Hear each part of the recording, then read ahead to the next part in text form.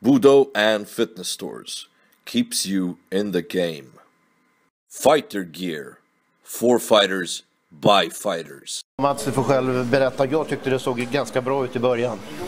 Uh, ja, det kändes väl ganska bra i början till slutet ungefär. Uh, nej, men jag tyckte jag kom in i matchen bra. Uh, träffade lite själv. Uh, sen började han få fäste med jabben och det, det, var faran med den här matchningen och, och, och det som kunde hända. Och, och det blev mycket boxning. Ja, det blev det. och det var väl lite avsiktligt. Och, och Från din sida också, också eller? Ja, och rusa in. Då är det ett knä som väntar på nu. Det slipper, ja, nu ser man ut som en babianröv i huvudet ändå. Men men eh, det vill jag undvika. Va? Så att försöka boxas med honom och, och sen så fick han fäste med jabben och, och hittade levern på mig. Det var då det, det var början till slutet.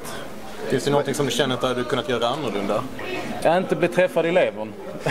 Eh, nej, jag skulle varit lite mer aktiv tror jag. Jag skulle, jag skulle inte bjudit honom på så mycket jabbar. Jag skulle legat på ännu mer, rört mig ännu mer. Men det vet vi nu va. Någonstans så... Jag kom in på fötter och basade ut på fötter. Alltså, ja, det var en jävla rolig upplevelse. Är det bara så? Finns det inte massa besvikelse också? Jo, såklart finns det det. Va? det är, men det kan jag inte gärna stå här i någon mixzon och, och lipa. Nu får man vara lite tuff. Och, men vad betyder det då om man tittar framåt för dig? Jag vet egentligen inte. Alltså, såklart så blir det en jättepress att vinna nästa match.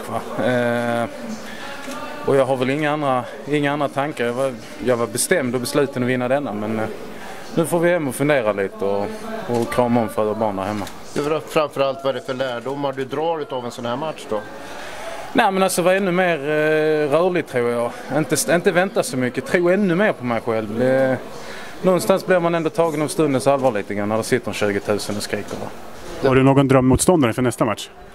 Oh, nej, nu kan vi väl få lov att laga till detta först och börja träna lite och fundera på det sen.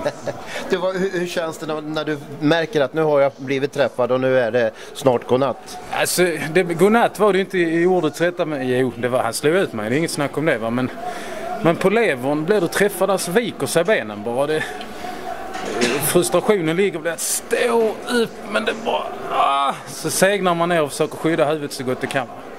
Så att, det är sånt som händer. Vad, vad, tycker du i helhet om, om din egna prestation? Är du nöjd ändå?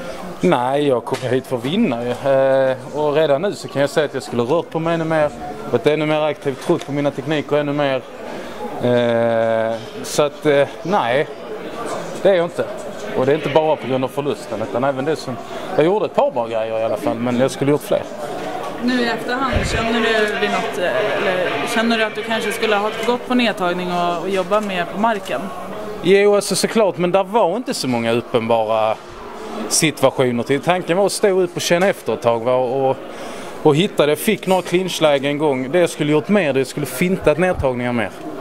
Eh, då hade jag fått bättre utdelning stående. När jag väl hade kommit in så hade det varit oväntat. Och det är det du känner att det var ditt största misstag här i matchen? Alltså, jag vet inte, hur länge höll det på? Två minuter någonting? Ja, fyra minuter. Fyra? Ja, oj, ja, men då har... Det är ju en godkänd UFC-erfarenhet. Nej men... Eh, alltså jag, kan, jag kommer hem och tittar på det så ser jag tusen saker jag skulle gjort bättre. Så eh, det är svårt att svara på nu. Vad tyckte du om hans nedtagningsförsvar? Svårt att säga. Jag tyckte inte jag gick på något. Det blev mest clinch. Liksom. Ja. Nej men som väntat så, så framade han upp, eh, alltså så att det var händerna mellan oss. Och, och som vi hade övat på så lyckades jag komma över axeln och, och nypa till honom där någon gång. Så att uh, han betedde sig väl rätt så som väntat. Men han fick, uh, han fick etablera att jabben kunde jobba sig in i matchen. Och ett slag på levern, det, du kan göra hur många sit-ups som helst, då är det kalkat. Hur ser det ut framöver? Är det hem och träna vidare inför uh vilken match nu det nu än blir eller blir det ta det lugnt och... Nej, alltså jag mår bra av att ta det lite lugnt nu ett tag. Det har varit väldigt intensivt inför det här va? och eh, jag har att, att göra upp för eller ta igen med, med fru och barn och, och familjen sådär. Min mor fyller 60 i, i, imorgon och, och här står jag och ser ut som en, en babianröv i ansiktet. Jag skulle varit hemma hos henne va? så jag har att ta igen när jag kommer hem. Men eh, såklart tränar jag har en sista fråga. Vad tror du egentligen händer i matchen mellan Alex och Jimmy? Alex vinner. Alltså så enkelt. Han, eh, möjligtvis att det kan se lika, lite likadant ut som mellan mig och, och Luke. Tror jag faktiskt att han, han kontrollerar avståndet lite och rörelsen lite bättre. Och får fler träffar och vinner. Så. Tack så mycket. Tack. Tack. Budo and Fitness Stores keeps you in the game. Fighter Gear for fighters by fighters.